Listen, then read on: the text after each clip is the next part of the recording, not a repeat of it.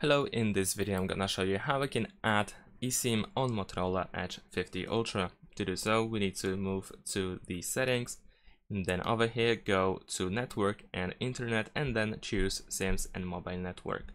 Now over here we can press download new SIM in order to activate your eSIM.